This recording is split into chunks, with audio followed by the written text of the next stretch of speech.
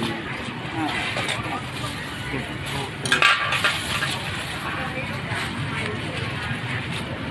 ี่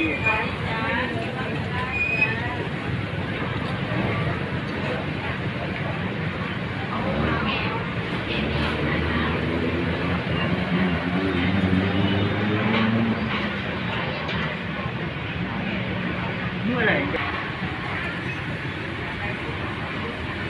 โอ้โหเก้าห้า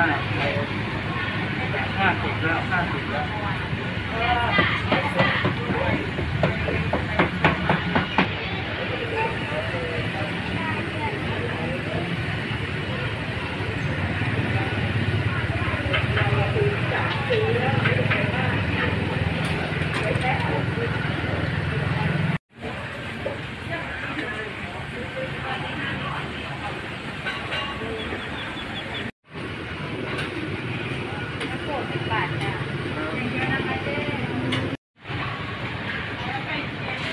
หลั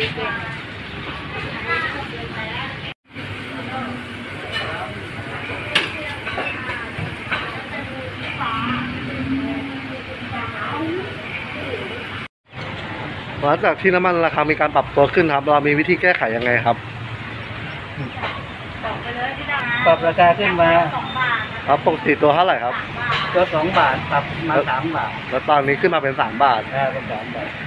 อยากฝากหน่วยงานภาครัฐยังไงบ้างครับเกี่ยวกับราคาน้ำมันพืชก็ปรับให้ลดลงหน่อยแก๊สก็ขึ้นนะครับแก๊สก็ขึ้น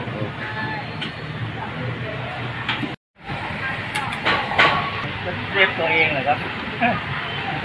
แล้วตอนนี้น้ำมันอยู่ที่เท่าไหร่ครับ มันก็โลมันก็ หลายราคานะเก้าบาท ห้าบาทก็มี